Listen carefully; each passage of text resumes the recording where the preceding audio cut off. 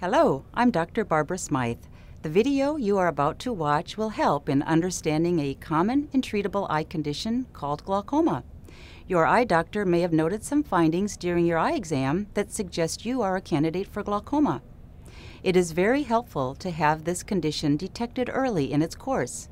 In some cases, prompt treatment is appropriate. In other cases, the situation can simply be monitored for now. The goal for your eye care providers is to help you keep seeing for the years to come. I hope you find this short video to be informative, and we look forward to seeing you soon. Thank you.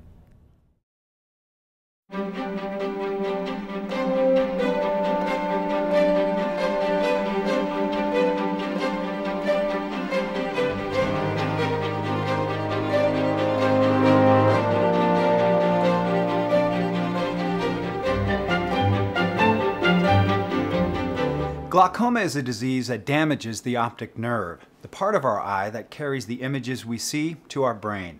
There are many different kinds of glaucoma and many ways to treat it.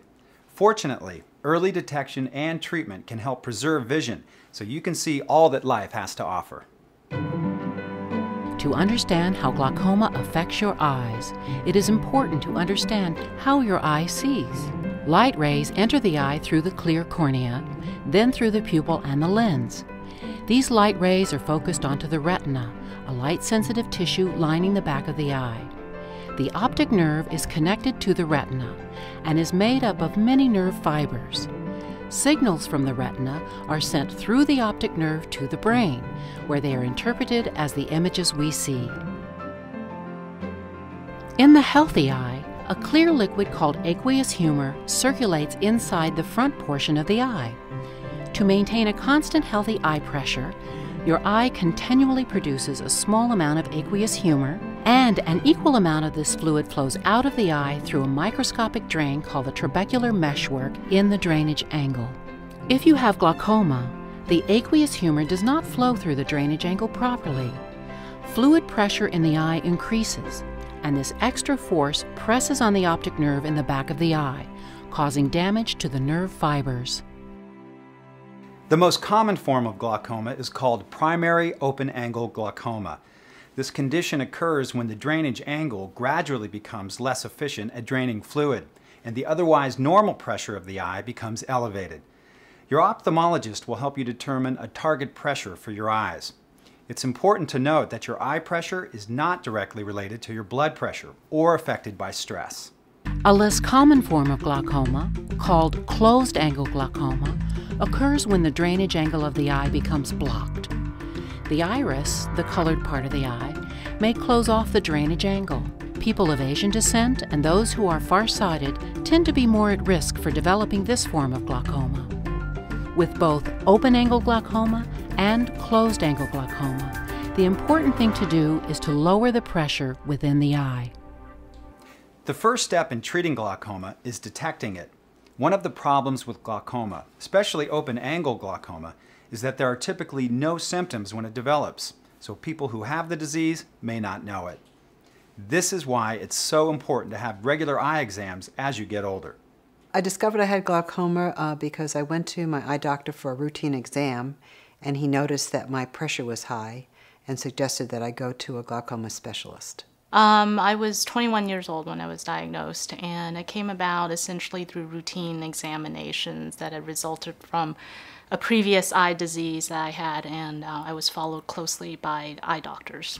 I started having problems with my vision, and the optometrist really couldn't figure out what the problem was, but the optometrist referred me to an ophthalmologist. The ophthalmologist found out that I had glaucoma. Glaucoma is more common as we grow older. People with elevated eye pressure are at increased risk. Glaucoma also can run in families. People of African and Hispanic ancestry are at increased risk for developing open angle glaucoma and are more likely to go blind from it. Those who have suffered an eye injury in the past are also at increased risk, as are diabetics and people who are nearsighted. When we're doing a glaucoma evaluation, we measure the pressure in your eye and the corneal thickness. Inspect your drainage angle with a mirrored lens. Visually inspect your optic nerve to see if there's any damage, and test your side or peripheral vision. We may also use computerized imaging techniques that measure the optic nerve to help detect early damage from glaucoma. A normal optic nerve is made up of more than 1 million tiny nerve fibers. With glaucoma, as the optic nerve is damaged, it loses nerve fibers. As a result, the appearance of the optic nerve changes. We refer to this as cupping. As the cupping increases, blind spots begin to develop in your field of vision. Ophthalmologists use a technique called a visual field test to look for these blind spots. The results of this test show us if and where blind spots are appearing in your field of vision, spots that you may not even notice. In the early stages of glaucoma, the visual field remains normal. As the optic nerve experiences further damage, blind spots begin to appear. These blind spots typically go undetected in your day-to-day activities until the optic nerve is significantly damaged and the blind spots become large. If all the optic nerve fibers die, blindness results. While there is no cure for glaucoma and optic nerve damage cannot be reversed, we can usually prevent vision loss if glaucoma is diagnosed and treated especially if it is detected in its early stages. Also, some people who have elevated eye pressure but don't yet have glaucoma may benefit from treatment with eye drops. That's why it is so important to visit your ophthalmologist regularly if you are at risk for developing glaucoma. Once glaucoma is diagnosed, treating it is a team effort between you and your doctor. The most common way to treat glaucoma is with eye drops. In the vast majority of patients, these drops will prevent vision loss from glaucoma. These medications lower your eye pressure in one of two ways, either by slowing the production of aqueous humor or by improving the flow through the drainage angle. If your doctor prescribes eye drops for you, it's important to continue taking them as your doctor tells you to.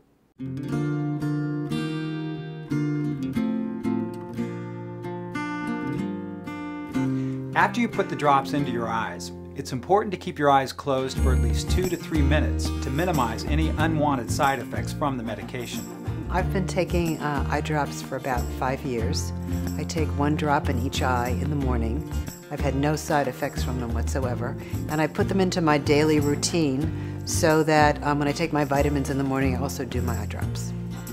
As with all drugs, glaucoma medications may have a few side effects, for example, you may experience red eyes or changes in your eye color, or side effects may occur in other areas of your body, such as changes in your heart rate or breathing.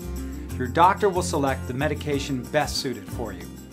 It's important for your ophthalmologist to know about your other medical conditions and any medications you are taking. You should bring a list of your medications with you to your eye appointment. Also, be sure to tell your primary care doctor that you're taking glaucoma medication.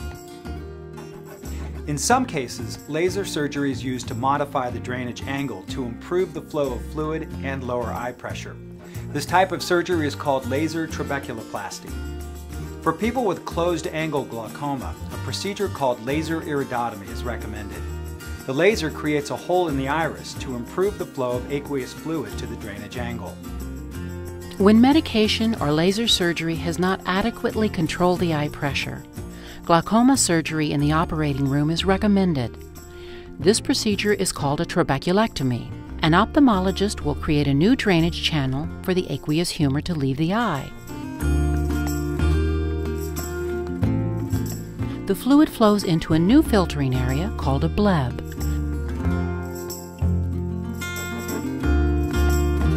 The bleb is mostly hidden beneath the upper eyelid. Creating a new drainage channel in the eye improves the flow of aqueous humor, lowering eye pressure. Glaucoma surgery is typically an outpatient procedure. The surgery itself is actually pretty painless and easy for me as a patient, um, but in the in the ensuing six weeks, it involved um, a lot of restrictions no bending, no heavy lifting of more than 10 pounds, and just careful monitoring of the eye. Those serious complications are not common. There is always some risk associated with any surgical procedure, such as bleeding or infection. Some additional medication or surgery may be needed later. Each patient's surgery outcome depends on their healing process, and that healing process varies not only with each person, but with each surgery.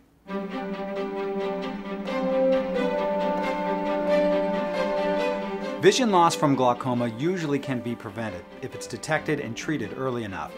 Fortunately, there are a number of ways to treat glaucoma. While some people may experience side effects from medications or surgery, the risks of side effects should always be balanced with the greater risk of leaving glaucoma untreated and losing vision. Now I see my ophthalmologist every three months. It's been 10 years and my vision is good. I play racquetball, I read, I play golf. Uh, it's wonderful. With early detection and treatment, glaucoma won't prevent you from enjoying the world around you. Thank you.